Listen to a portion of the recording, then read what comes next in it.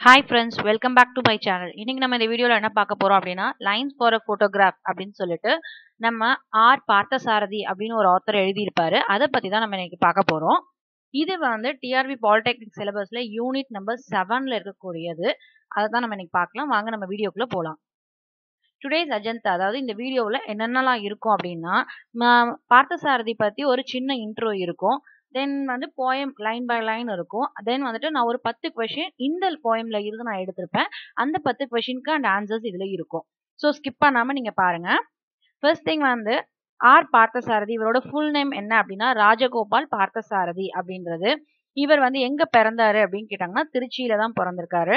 தென் nineteen thirty ஃபோர்ல அவர் பிறந்தாரு. இவர் எஜுகேஷன்ஸ் எல்லாமே எங்க படிச்சாரு அப்படின்னு கேட்டாங்கன்னா பாம்பே யூனிவர்சிட்டியில தான் படிச்சாரு. இவரோட பிஹெச்டி எந்த யூனிவர்சிட்டியில பண்ணாங்க அப்படின்னு கேட்டாங்கன்னா யூனிவர்சிட்டி ஆஃப் டெக்ஸாஸ் இது கொஞ்சம் நல்லா ஞாபகம் வச்சுக்கோங்க. ஏன்னா நிறைய கொஷின் பேப்பர்ல இந்த கொஷின் கேட்டிருக்காங்க. ஸோ யூனிவர்சிட்டி ஆஃப் டெக்ஸாஸ்ல தான் வந்து இவர் பிஹெச்டி பண்ணாரு. இவர் என்னென்ன ரோல்லாம் வகிச்சாரு அப்படின்னா இவர் ஒரு பொயட்டா இருந்தாரு and also he was a translator இவர் ஒரு டிரான்ஸ்லேட்டராகவும் இருந்தாரு. தென் வந்து இவர் வந்து என்ன ப்ரைஸ்லாம் வாங்கியிருக்காங்க அப்படின்னா புக் ப்ரைஸ் ஃபார் டிரான்ஸ்லேஷன் பண்ணதுக்காக புக் ப்ரைஸ் ஃபார் டிரான்ஸ்லேஷன் அப்படின்னு சொல்லி நைன்டீன் நைன்டி சிக்ஸ்ல வாங்கியிருக்காரு. அதே மாதிரி உல்கா போய்ட்ரி ப்ரைஸ் அப்படின்னு சொல்லி ஒரு அவார்ட் கொடுத்துருக்காங்க. அது வந்து எப்போ கொடுத்தாங்க அப்படின்னா நைன்டீன் சிக்ஸ்டி சிக்ஸ்ல கொடுத்தாங்க. இவர் வந்துட்டு இவரோட ப்ரொஃபஷன் என்ன அப்படின்னு கேட்டிங்கன்னா ஃபர்ஸ்ட் வந்து டீச்சிங்ல தான் இருந்தாரு. இவர் டீச்சிங்க்கு அப்புறம் தான் வந்து போட்டோகிராஃபரா எங்க மாறினாங்க அப்படின்னா ஆக்ஸ்போர்ட் யூனிவர்சிட்டி பிரஸ்ல வந்து சென்னையில இருக்கு. அங்க வந்து ஒர்க் பண்ணாரு.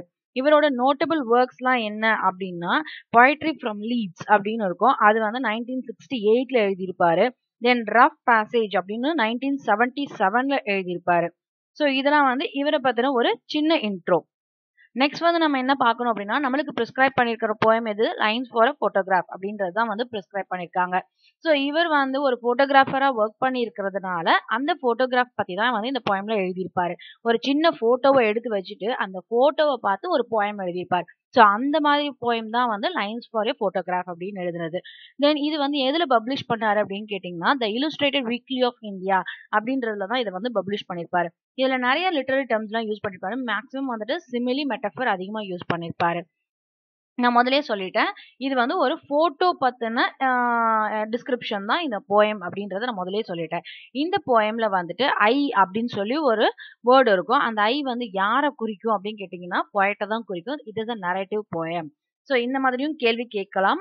இது வந்து என்ன கைண்ட் ஆஃப் போயம்ஸ் அப்படின்னா இது வந்து நரேட்டிவ் போயம் தான். ஏன்னா இதில் கொடுத்துருக்கிற ஐ எல்லாமே வந்து பொயட்டை தான் வந்து குறிக்கும். தென் எப்பயுமே நான் சொல்லியிருக்கேன் எந்த ஒர்க்லையுமே starting line and last line நம்மளுக்கு கம்பல்சரி தெரிஞ்சிருக்கணும் அப்படின்னு நான் சொல்லியிருக்கேன்.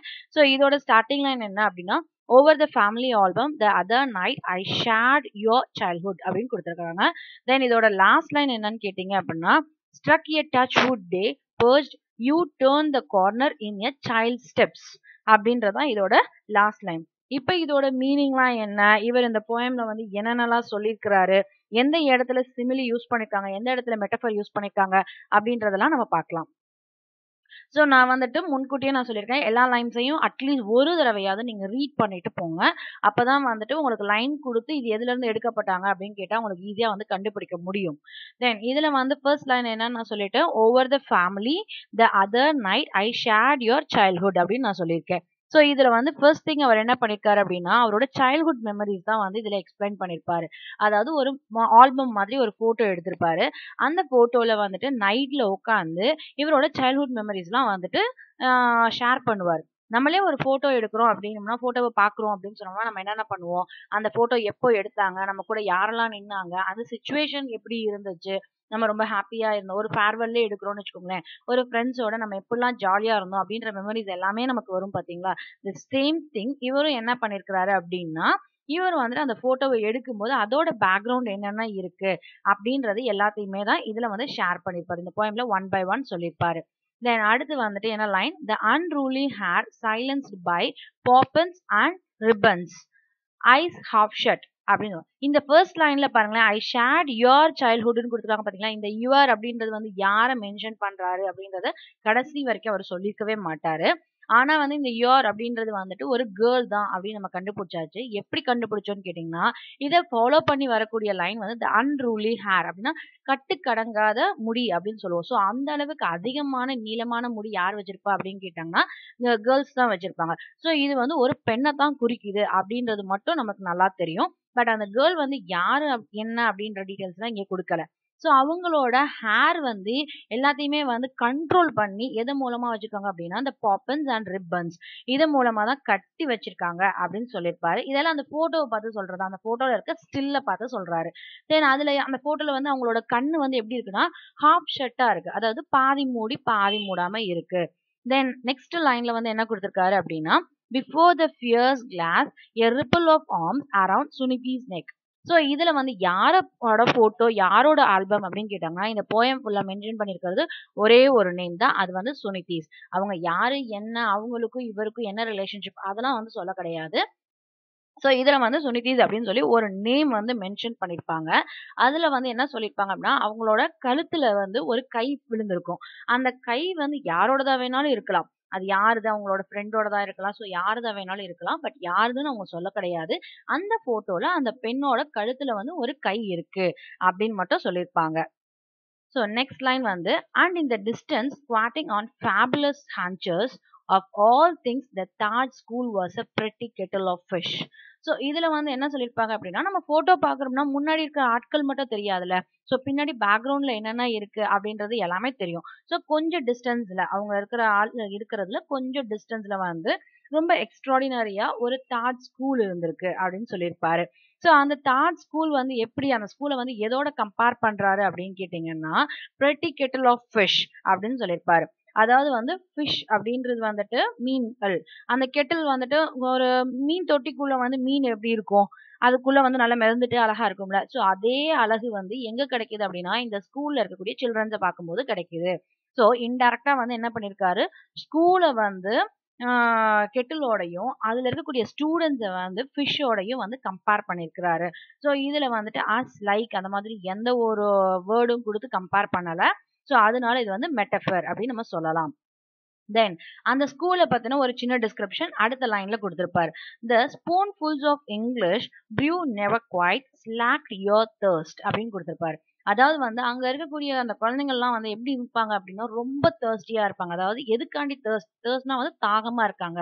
ஸோ எதுக்காண்டி அந்த தாகங்கள் அப்படின்னு கேட்டீங்கன்னா அவங்க இங்கிலீஷ் கத்துக்கணும் அப்படின்றதுல மிகப்பெரிய தாகம் ரொம்ப பசியோட இருக்காங்க அப்படின்னு அர்த்தம்.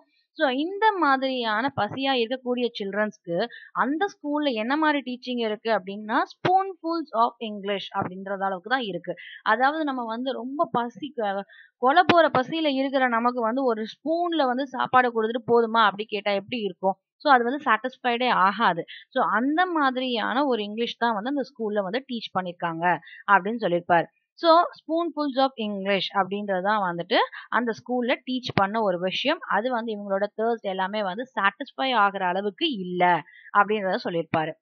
நெக்ஸ்ட் லைன்ல வந்து என்ன கொடுத்துருப்பாரு அப்படின்னா hand on chin you grew up all agog on the cooks succulent folk lore folklore அப்படின்றது வந்து என்ன அப்படின்னு கேட்டிங்கன்னா ஒரு வந்து ஃபங்க்ஷன் மாதிரி ஒரு நாட்டுப்புற பாடல் ஃபங்க்ஷன் நம்ம வச்சிருப்போம் பார்த்தீங்களா அந்த மாதிரியான ஒரு ஃபங்க்ஷன் ஸோ இந்த இடத்துல நம்ம சொல்லிட்டோம் முதலே சொல்லிட்டோம். யூ அப்படின்றது வந்து யாரை குறிச்சிருக்காருன்னு எங்களுக்கு தெரியாது. இப்போ வந்து நீ ரொம்ப நல்லா வளர்ந்து முடிச்சுட்ட.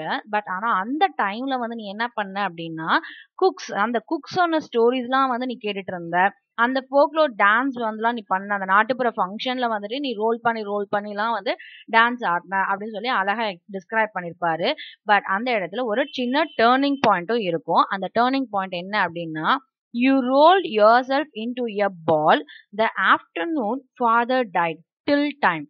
So இந்த இடத்துல வந்து என்ன சொல்லியிருக்காங்க அப்படின்னா இவ அழகா வந்து சுத்தி சுத்தி ஆடினாங்க அப்படின்னு கூட நம்ம வச்சுக்கலாம். ஸோ அந்த மாதிரி ஆடிட்டு இருக்கிற டயத்துல வந்துட்டு ஆஃப்டர்நூன் ஸோ மத்த மத்தியானத்துல அவங்க அப்பா வந்து இறந்திருப்பாரு. ஸோ அதை வந்து மென்ஷன் பண்ணியிருப்பாங்க அதனால அவங்க அப்பா இறந்ததுனால இவ என்ன பண்ணிருப்பா அப்படின்னா ஒரு பால் மாதிரி ஒரு பாலை வந்து அடிச்சு விட்டோம்னா அது கடைசியில ஏதாவது ஒரு மூலையில போய் கிடக்கும் பாத்தீங்களா? ஸோ அதே மாதிரி இவ ரோல் பண்ணி நல்லா என்ஜாய் பண்ணிட்டு இருந்த ஒரு பொண்ணு குக்ஸோட கதைகள்லாம் கேட்டு ஜாலியா இருந்த பொண்ணு அப்பா இறந்தாரு அப்படின்னு தெரிஞ்சோன்னு யாருக்குமே வந்து அந்த சர்ப்ரைஸ் இருக்கும்ல. ஸோ அதே மாதிரி அப்பா இறந்தாரு அப்படின்ற அந்த விதம் கேட்டதுக்கு அப்புறமா நீ என்ன பண்ணிட்ட? உடனே நீயே வந்துட்டு சுருட்டிக்கிட்ட? எது மாதிரி சுருட்டிக்கிட்ட? அப்படின்னு கேட்டாங்கன்னா பால் மாதிரி நீ சுருட்டிக்கிட்ட அப்படின்னு சொல்லியிருக்காங்க. ஸோ அது மாதிரி ஒரு மூலையில கிடந்துட்ட அப்படின்னு சொல்லிப்பாங்க ஸோ அதுதான் மேபி அவங்க லைஃபோட டேர்னிங் பாயிண்ட் அப்படின்னு அர்த்தம்.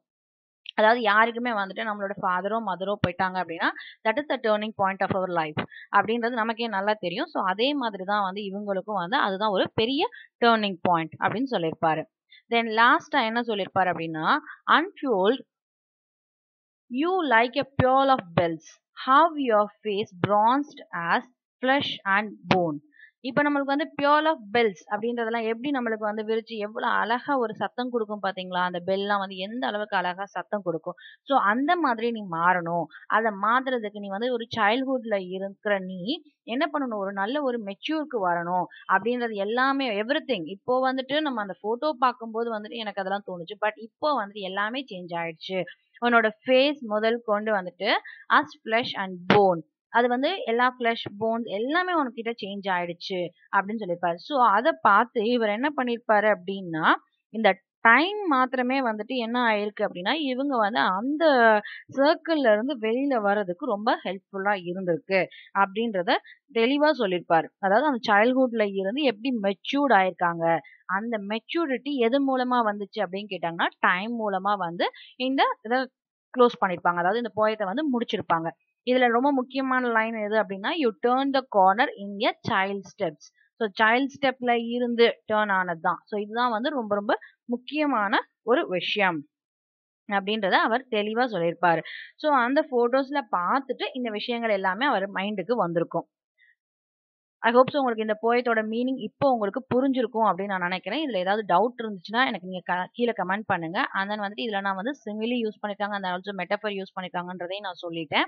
அந்த சிமிலி மெட்டஃபர் அப்படின்னா என்ன அப்படின்னு தெரியாதவங்களுக்கு ஆல்ரெடி நம்ம ஒரு ஃபிகர்ஸ் ஆஃப் ஸ்பீச் அப்படின்னு சொல்லி நம்ம தமிழ்லேயே எக்ஸ்பிளைன் பண்ணி ஒரு வீடியோவும் நம்ம போட்டிருக்கிறோம். பார்க்காதவங்களுக்கு கீழே டிஸ்கிரிப்ஷனில் லிங்க் இருக்குது அதை போய் பார்த்துட்டு வந்திருக்கோங்க. தென் இதுல வந்து இப்ப நான் சொன்ன கதையில இருந்து ஒரு சில கொஸ்டின்ஸ் நான் எடுத்திருக்கேன். நீங்க இந்த இடத்துல பாஸ் பண்ணிட்டு இந்த ஆன்சர் மட்டும் நீங்க எழுதிக்கோங்க. நம்ம வந்து எக்ஸாம்ல வந்து சாய்ஸ் தான் கொடுப்பாங்க. பட் நான் வந்துட்டு எப்பயுமே வந்து நான் சொல்வேன் உங்களுக்கு முன்னாடியே மாக் டெஸ்ட் எல்லாம் கொடுத்துருக்கேன்ல அதுலயே நான் சொல்லியிருக்கேன். எதையுமே வந்து சாய்ஸ் வச்சு படிக்காதீங்க. டேரெக்டாக ஆன்சர் சொல்ற அளவுக்கு நீங்க படிச்சிட்டீங்கன்னா தான் வந்துட்டு அங்க போய் சாய்ஸ் வந்து கன்ஃபியூஷனா இருந்தாலும் உங்களால ஈஸியா வந்து டேக்கிள் பண்ண முடியும். ஸோ இதை வந்து பாஸ் பண்ணிட்டு நீங்க என்ன பண்ணுங்க கொஸ்டின்ஸ் எல்லாத்துக்குமே ஆன்சர் பண்ணிக்கோங்க. நெக்ஸ்ட் ஆன்சர் இருக்கும். So first question, whose family album has seen by R. Parthasarathi? Second question, in the photograph, unruly hair was silenced with the help of. Third question, what was the pretty kettle of fish? Fourth question, what was taught in school? Fifth, when was Suniti's father died?